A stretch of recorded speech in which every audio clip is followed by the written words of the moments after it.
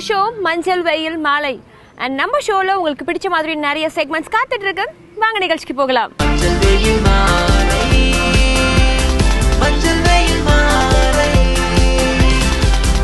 நம்ம ஷோவோட முதல் செக்மெண்ட் யோகாசனம்.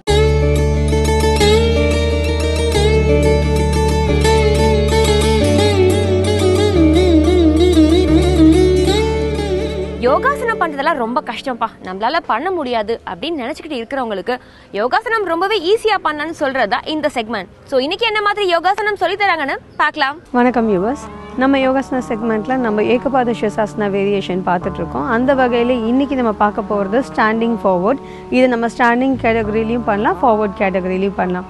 ஏகபாத ஷிவச பாதஹஸ்தாசனா ஸோ பாதஹஸ்தாசன் காமனாக வந்துட்டு நமக்கு ரெண்டு காலை சேர்த்து வச்சு ஐயரு க்ளோஸ் ஆகி நம்ம லாக் பண்ணி பண்ணுறோம் அதை வந்து இன்னைக்கு ஒரு கால் கழுத்தில் போட்டு இந்த ஃபார்வர்ட் பெண்ட் பண்ண போகிறோம் அதை எப்படி பண்ணுறதுன்றதை இப்போ பார்க்கலாம். பாதஹஸ்தாசனா வேரியேஷன் பண்ணுறதுனால ஃபர்ஸ்ட் நம்ம ஏகபாத ஷிவசாசன் தண்டாசனாலேருந்து போட்டுடலாம்.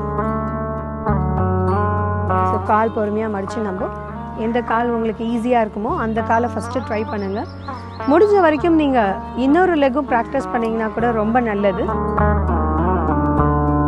இப்போ பொறுமையாக கால் மடித்து நீங்கள் எழுந்திரிச்சு நிற்கக்கூடிய அந்த ஸ்டாண்டிங் வேரியேஷனில் பண்ணுங்கள் ஸோ இந்த ஏகபாத ஷர்சாசனால வந்து பாதகஸ்தாசனா நீங்கள் பாதகஸ்தாசனுக்கு கை வந்து பொசிஷன் எப்படி நீங்கள் சைட் வேஸில் வைப்பீங்களோ அதே மாதிரியே நீங்கள் வைக்கலாம். கரெக்டாக எல்போஸ் வந்து கொஞ்சம் காலுக்கு க்ளோஸ் ஆகும் பாதம் வந்து கரெக்டாக காலுக்கு பக்கத்தில் வைக்கிற மாதிரியும் பண்ணிக்கோங்க.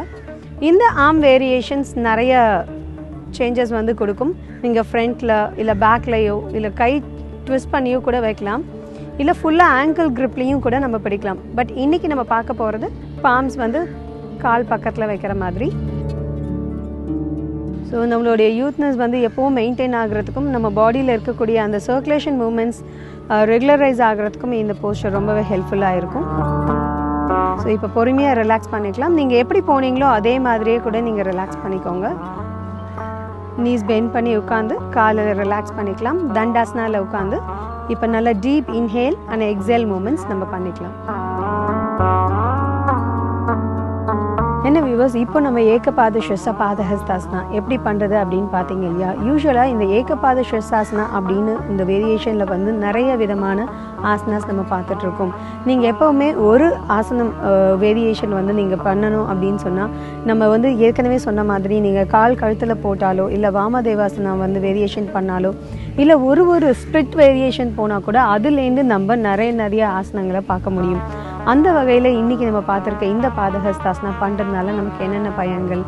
யூஸ்வலாக நம்ம பாடியில் நடக்கக்கூடிய சேஞ்சஸ் அண்ட் நம்மளுடைய சிஸ்டம் மெக்கானிசம் இது ரொம்ப ப்ராப்பராகவும் அதோடைய மெக்கானிசம்ஸ் வந்து கரெக்டான ஃப்ளோவில் நடக்கிறதுக்கும் இது ரொம்ப பயனுள்ளதாக இருக்கும். நம்மளுடைய சர்க்குலேட்டரி சிஸ்டம் நர்வஸ் சிஸ்டம் இது எல்லாமே வந்து கரெக்டாக டியூன் ஆகிறதுக்கும் நம்மளுடைய மஸ்குலர் சிஸ்டம் வந்து நல்லா ஸ்ட்ரென்த்தனாக இருக்கிறதுக்கும் இந்த போஸ்டர் ரொம்பவே பயனுள்ளதாக இருக்குது அது மட்டும் இல்லாமல் நம்மளுடைய சோலார் பிளக்ஸில் இருக்கக்கூடிய நர்வ் அந்த சோலார் பிளக்ஸ் அந்த ஸ்பைனில் கனெக்ட் ஆகும்போது நம்மளுடைய சக்கரா எனர்ஜி ஆக்டிவேஷனும் வந்து இதில் அதிகமாக இருக்கும் ஒரு ஒரு போஸ்டர் பண்ணும்போதும் நமக்கு நிறைய விதமான பயன்கள் இருக்கும். அந்த போஸ்டர்ஸ் பண்ணும்போது நம்ம அதை கான்ஷியஸாக பண்ணோம் அப்படின்னு சொன்னால் நமக்கு எந்த விதமான பாதிப்புகளும் இருக்காது.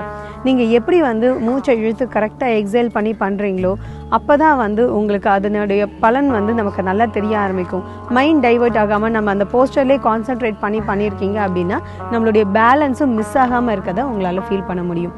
எந்த ஒரு ஆசனங்கள் பண்ணும்போதும் அதை நம்ம எப்படி பண்ணணும்? அதன் தப்புகள் வந்து அதை எப்படி திருத்திக்கணும்? அப்படின்றதையும் நம்ம கரெக்டாக பார்க்கணும். ஏன்னா ஒரு ஒரு வேரியேஷன் பண்ணும்போதும் நமக்கு நிறைய விதமான டவுட்ஸ் மனசில் வர செய்யும். திடீர்னு வந்து நம்ம பேலன்ஸ் மிஸ் ஆகி விழுந்துருவோம். அது மூலயமா நமக்கு வந்து அடிபடுறதுக்கும் வாய்ப்புகள் இருக்குது ஸோ முடிஞ்ச வரைக்கும் நீங்கள் வந்துட்டு கரெக்டாக உங்கள் பேலன்ஸ் மிஸ் ஆகாமல் அதே பொசிஷனில் இருக்கிறதுல நீங்கள் கான்சென்ட்ரேட் பண்ணுங்கள் இன்கேஸ் அப்படி பேலன்ஸ் மிஸ் ஆச்சு அப்படின்னா கூட நீங்கள் கரெக்டான ஒரு சப்போர்ட்டிவ் பொசிஷனில் வந்து நீங்கள் ஹோல்ட் பண்ணி உட்காந்துட்டீங்க அப்படின்னு சொன்னால் எப்போவுமே உங்களுக்கு அடிப்படாது விழுற ஃபோர்ஸ் அதிகமாக இருக்கக்கூடாது. அவ்வளோதான் அப்போ தான் நமக்கு வந்து அந்த இன்ஜுரி உள்ளே இருக்கக்கூடிய இன்டர்னல் இன்ஜுரியும் ஆகாமல் நம்மளால் பார்த்துக்க முடியும். பாதஹஸ்தாசன் பண்ணுறதுனால நம்மளுடைய அப்பர் பாடியோட சர்க்குலேஷன்ஸ் அதிகமாக இருக்கும். பர்டிகுலராக நம்மளுடைய தலைப்பகுதி. தலையில் வந்து ஏற்கனவே நம்ம நிற்கும் போது இருக்கிற சர்க்குலேஷனை விட நம்ம தலைக்கிழக குனியும் போது சர்க்குலேஷன் அதிகமாகும். ஸோ நம்மளுடைய தலைப்பகுதியில் இருக்கக்கூடிய அந்த சர்க்குலேஷன்ஸ் அதிகமாக இருக்கிறதுனால நம்மளுடைய மூளை வந்து ரொம்ப சுறுசுறுப்பாக இயங்குறதுக்கும் நம்மளுடைய நினைவாற்றல் அதே மாதிரி நம்மளுடைய கான்சன்ட்ரேஷன் பவர் அப்படின்னு சொல்கிற அந்த மைண்ட் டைவர்ட் ஆகாமல் நம்ம எவ்வளோ தூரம் நம்ம கான்சன்ட்ரேஷனில் வந்து அக்யூரசி இருக்குது அப்படின்றதையும் நம்ம ஒவ்வொரு போஸ்டர் பண்ணக்கூடியதில் நம்மளால் அப்சர்வ் பண்ண முடியும். இந்த பாதகஸ்தாசனால வந்து கை கீழே சப்போர்ட் பண்ணி இருக்கும்போது நம்ம பாடி ஒரு விதமான பேலன்ஸில் இருக்கும். அதே கை நீங்கள் காலை ஹோல்ட் பண்ணும்போது ஒன்றும் வந்து அட்டென்ஷன் அதிகமாக இருக்கும். ஸோ இதுக்கு முக்கியமான காரணம் நம்மளுடைய பிராணம். ஸோ உங்களுடைய ப்ரீதிங் பேட்டர்னை கரெக்டாக வச்சு அந்த ப்ராணிக் எனர்ஜியை கரெக்டாக யூஸ் பண்ணோம் அப்படின்னு சொன்னால் நம்ம பாடிக்கு வந்து கரெக்டான பேலன்ஸ் கிடைக்கும். ஸோ பிராணா கரெக்டாக இருந்ததுன்னா நம்ம பாடி அண்ட் மைண்ட் ரெண்டுமே வந்து ஒரே சீரமைப்போடு இருக்கும். இதை நீங்கள் ப்ராக்டிஸ் பண்ணிகிட்டே இருங்க. அடுத்த செக்மெண்ட்டில் இன்னொரு பயனுள்ள யோகா போஸ்டரோட உங்களை மீண்டும் சந்திக்கிறேன். வணக்கம். ரொம்பவே இன்ட்ரெஸ்டிங்காக போயிட்டு இருக்க. நம்ம மஞ்சள் வயல் மாலை ப்ரோக்ராம்ல ஒரு short break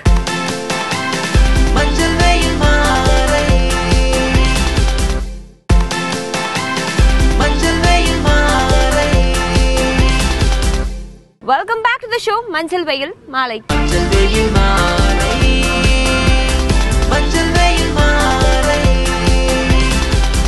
நம்ம ஷோவோட அடுத்த செக்மெண்ட் இங்கிலீஷ்ல பேசலாம். இப்ப இருக்க காலகட்டத்தில் இங்கிலீஷ்ல பேசணும் அப்படிங்கிறது ரொம்ப ரொம்ப முக்கியமான விஷயமா இருந்துட்டு இருக்கு அவ்வளோ முக்கியமான இங்கிலீஷை ரொம்பவே ஈஸியா சொல்லித்தரது தான் இந்த செக்மெண்ட் சரி வாங்க போய் இங்கிலீஷ்ல பேசலாம். ஹலோ ஃப்ரெண்ட்ஸ் இப்போ போன ப்ரோக்ராமில் நம்ம வந்து வெண்ணுனா எப்பொழுது எப்பொழுது எப்பொழுதுன்னு கேட்டு முடிச்சிட்டோம். சரிங்களா? இப்போ நம்ம வெண்ணுனா பொழுது எப்படி எடுத்துக்கலாம்? அதுக்கு ஒரு சின்ன எக்ஸாம்பிள் கொடுத்துருந்தேன்.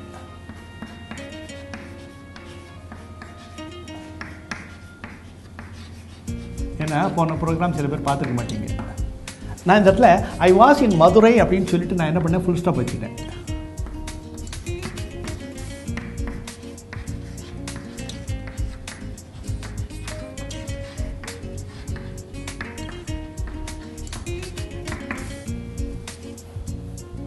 நான் ஒன்றையும் செய்ய போகிறேன் இப்போ. இந்த வெண்ணன்னு ஒரு வேர்டு இருப்பாருங்க இதுக்கு பொழுதுன்னு ஒரு அர்த்தம் உண்டு. இப்போ நான் என்ன சொல்ல போகிறேன் நான் மதுரையில் இருந்த பொழுது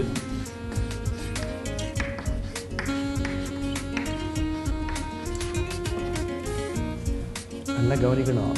நான் மதுரையில் இருந்தேன்னு சொல்லி ஃபுல் ஸ்டாப் வச்சுட்டேன். ஃபுல் ஸ்டாப் கண்ணுக்கு தெரியுதா? ஓ ஆ.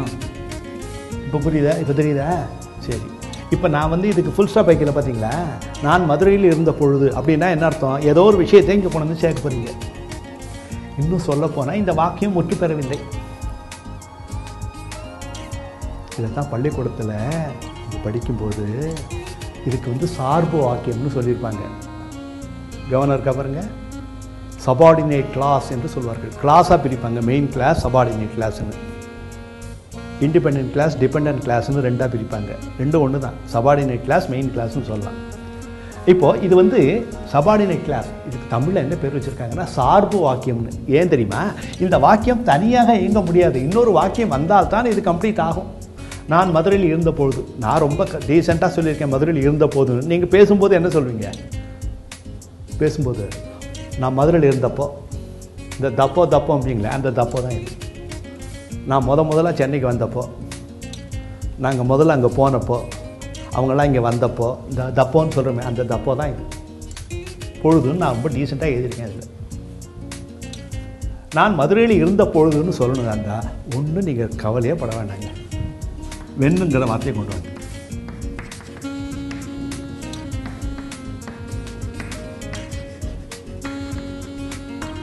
சொன்ன போதும் தன்னை வாசன் மதுரை அவ்வளோதான் கஷ்டமாக இருக்கு. இல்லை. இப்போ உடனே நீங்கள் அந்த எப்பொழுதுங்கிறத மறந்துடணும். எப்போ எப்போது எப்போது அப்போ இருக்கும்? டூ வந்தாலோ டிட் வந்தாலோ இல்லை ஈஸ் வந்தாலோ ஆர் வந்தாலோ இங்கே என்ன வந்திருக்கு பாருங்கள் சப்ஜெக்ட் தானே வந்திருக்கு. நல்லா ஞாபகத்தை வச்சுக்கோ. வென்னுக்கு பக்கத்தில் இதை போல் சப்ஜெக்ட் என்று சொல்லப்பட ஹீயோ ஷீயோ ஐ யூ வி இதெல்லாம் வந்துச்சுன்னா இதுக்கு போடுதுன்னு அர்த்தம். இது அப்படியே மா- அப்படி வென் ஐ வாஸ் இன் மதுரைன்னு கேள்வியாக மாற்றக்கூடாது நான் எப்பயா மதுரையில் இருந்தேன் அப்படின்னு அர்த்தம் கிடையாது. புரியுங்களப்போ நான் எப்பயா மதுரையில் என்னங்கிறது இந்த வாஸ் இங்கே வந்துடும் புரியுதுங்களா? அதனால் ஞாபகத்தை வச்சுக்கணும். வென் ஐ வாஸ் இன் மதுரைனா நான் மதுரையில் இருந்த பொழுது. இந்த சென்டென்ஸ் கம்ப்ளீட் ஆகிடுச்சா இல்லை. அப்போ நம்ம என்ன பண்ணோம்? நான் அவனை மீட் பண்ணேன். நான் அவங்கள மீட் பண்ணேன். இப்படியெல்லாம் சொல்லுதா இப்படி சொல்லுங்கள்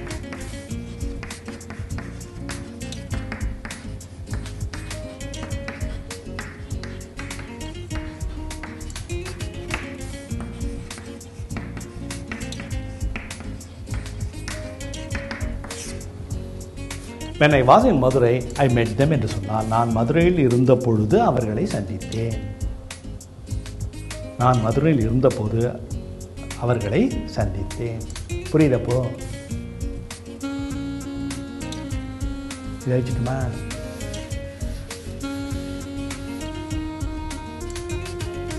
என்ன டவுட்டு ஒரு டவுட்டும் இல்லை.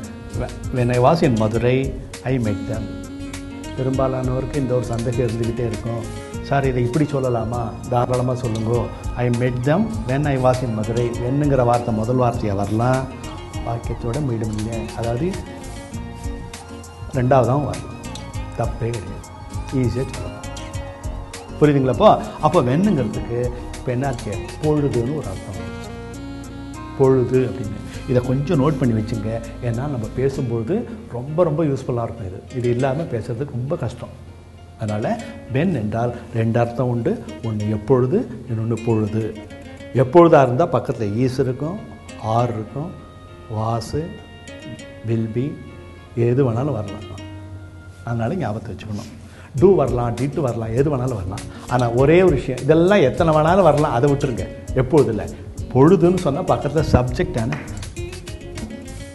அவன் இங்கே வந்த போது நான் அங்கே போன போது நான் சாப்பிட்ட போது தூங்கின போதுன்னு வந்து சொல்கிற மாதிரிங்க எல்லாத்துக்கும் இந்த வெண்ணு தான். இந்த வெண்ணு இன்னும் முடியல. ஒரு இதில் ப்ரோக்ராமில் வெண்ணு எனக்கு புரியல. உங்களுக்கு சில பேருக்கு இன்னும் குழப்பம் தான் இருக்குது இந்த குழப்பம்லாம் தீர்றதுக்கு என்ன பண்ணலாம்? அடுத்த ப்ரோக்ராம்லேயும் இந்த வெண்ணு தான் நடத்த போகிறேன் ஓகேங்களா? மீண்டும் நாம் அடுத்த நிகழ்ச்சியில் சந்திப்போம். நம்ம ஷோவோட அடுத்த செக்மெண்ட் பழமொழி அது பொன்மொழி.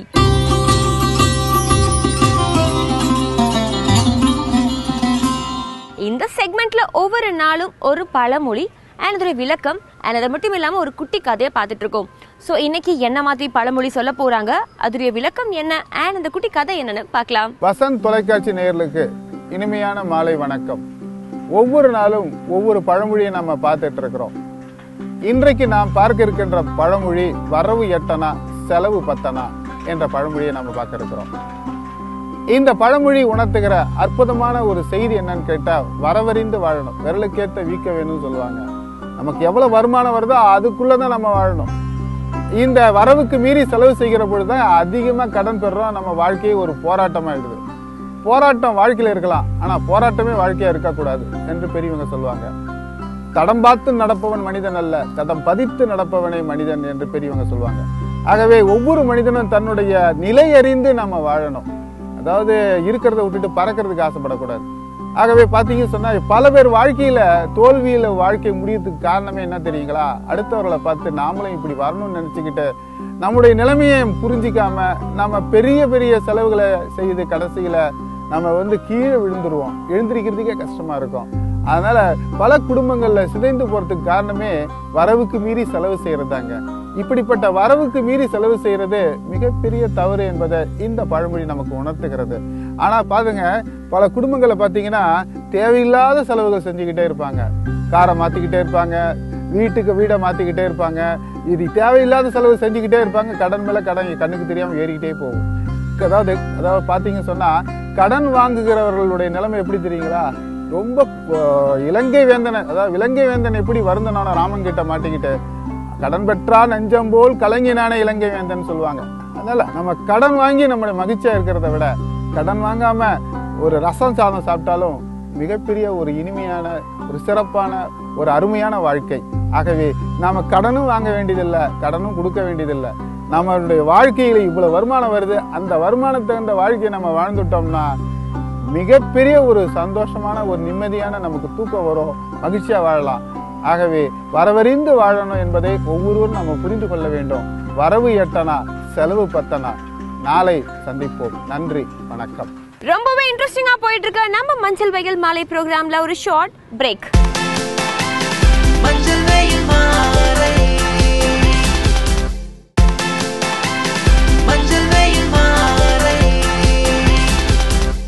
Welcome back to the show மஞ்சள் வெயில் மாலை. மஞ்சள் வெயில் மாலை.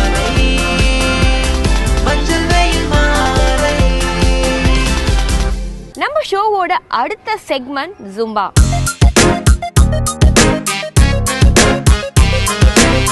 டான்ஸ் அப்படின்னா எல்லாருக்கும் ரொம்ப ரொம்ப பிடிக்கும். டான்ஸ் ஃபார்மேட்ல ஃபிட்னஸ் இருந்தா எப்படி இருக்கும்? அது தாங்க ஜும்பா. ஸோ இன்னைக்கு என்ன மாதிரி மூமெண்ட்ஸ் என்ன மாதிரி மியூசிக் ப்ளே பண்ண போறாங்கன்னு போய் பார்க்கலாம். Hello viewers welcome to the Zumba zone so இன்னைக்கு நம்ம பார்க்க போகிற song another one bite an English number so வாங்க ஜும்பா கொரியோகிராஃபியில் எப்படி பர்ஃபார்ம் பண்ண போகிறாங்கன்னு பார்க்கலாம்.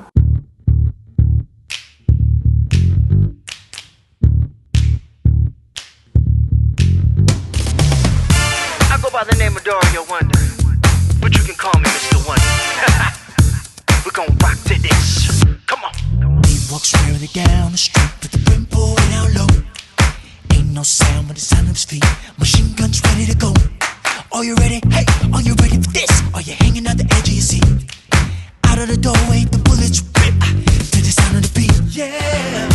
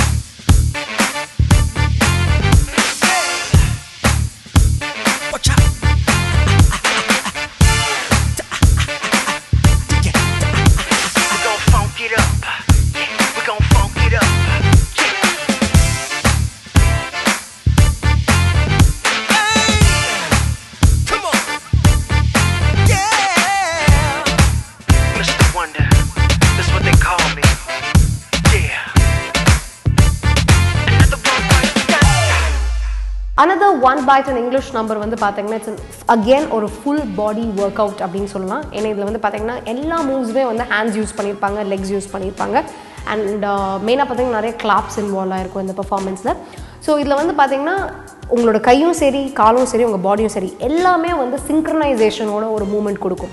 ஸோ அதனால் வந்து உங்களோட ஹோல் பாடியில் சர்க்குலேஷன் ஆஃப் பிளட்லையும் சரி ஒர்க் அவுட்டும் ரொம்ப ரொம்ப யூஸ்ஃபுல்லாக இருக்கும்.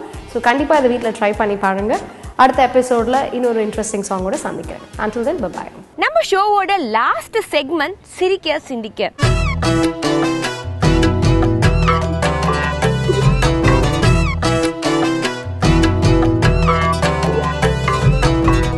இந்த செக்மெண்ட்ல நீங்க சிரிக்கிறதுக்காக எக்கச்சக்கமான ஜோக்ஸும் சிந்திக்கிறதுக்காக அழகான மெசேஜஸும் சொல்லுவாங்க. சரி வாங்க போய் சிரிக்கலாம் சிந்திக்கலாம். வசன் டிவி நேயர்களுக்கும் இனிமையான வணக்கங்கள். அதாவது பார்த்தீங்கன்னா பெரியவங்க சொல்லுவாங்க பசியோடு இருப்பவனுக்கு ஒரு முறை உணவு வழங்கிப்பார். இறந்த பின் நீ காணும் சொர்க்கத்தை இருக்கும் பொழுதே ஒரு நொடியில் காண்பாய் அப்படின்னு அழகா சொல்லியிருக்காங்க. உண்மைதான். ஏன்னா பசி மாதிரி ஒரு கொடிய நோய் இந்த உலகத்தில் வேறு எதுவுமே இல்லைங்க. அதனால அந்த நேரத்தில் நம்ம யாருக்கு உதவ முடியுமோ அதை கண்டிப்பாக நம்ம உதவியே ஆகணும்.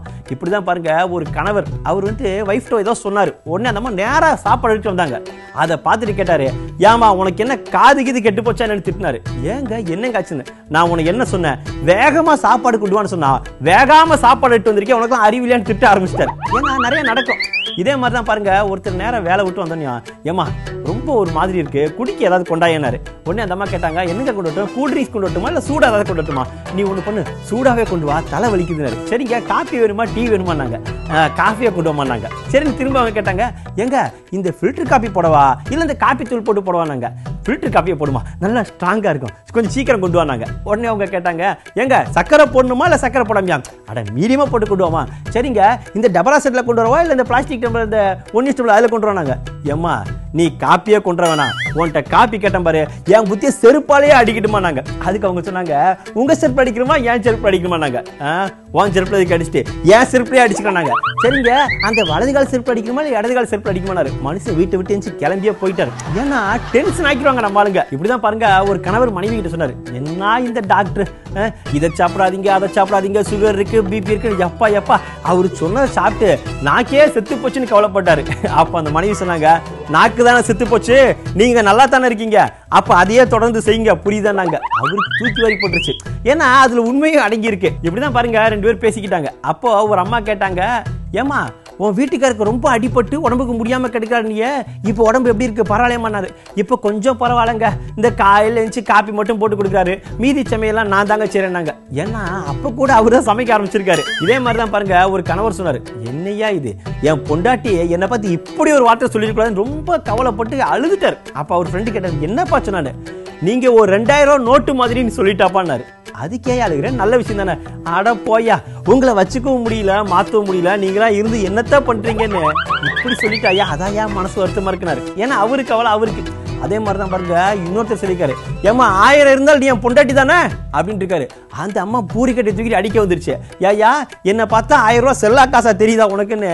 அந்த அம்மா கவலையை அது காமிச்சிருச்சு. ஏன்னா நடக்கும். இப்படிதான் பாருங்க அக்பர்கிட்ட இன்னொரு நாட்டை சேர்ந்த ஒரு மன்னர் வந்து ஒரு போட்டி சொன்னாராம். அதாவது என் வேலைக்கான ஒருத்தனை உன் நாட்டுக்கு அனுப்புறேன். அவனுக்கு நீ ஃபுல்லா சாப்பாடு போடணும். ஆனா எக்காரணம் கொண்டு அவன் குண்டாயிடக்கூடாது அப்படின்னு சொல்லி சொன்னாராம். இதை கேட்ட அக்பருக்கு வந்து ஒரே கவலை ஆயிடுச்சு இது எப்படி முடியும்? சாப்பாடுன்னு ஒருத்தருக்கு அதிகமாக கொடுத்தா கண்டிப்பா அவன் குண்டாயிருவான். ஆனா சாப்பாடும் கொடுக்கணும். அவன் குண்டாவும் ஆகக்கூடாதுன்னா இது எப்படி முடியும்? ரொம்ப யோசிச்சவரு கடைசி என்ன பண்ணாரு? பீர்பாலை கூப்பிட்டு இந்த மாதிரி இதுக்கு ஒரு வழி சொல்லுங்க. அப்படின்னு அவருடைய மந்திரி பீர்பால் அவர்கிட்ட சொன்னே அவர் அறிவுபூர்வமாக யோசிச்சு நீங்க அவனை வர சொல்லுங்க. அவர் சொன்ன போட்டி ஓகேன்னு சொல்லிருங்க. நம்ம பார்த்துக்கொள்ளாரு அதே மாதிரி பாருங்க ஒரு ஒரு மாதம் அவனுக்கு நல்லா சாப்பாடு போட்டு எல்லாம் பண்ணி ஒரு மாதம் கழித்து கொண்டு வந்து நிறுத்துறாங்க.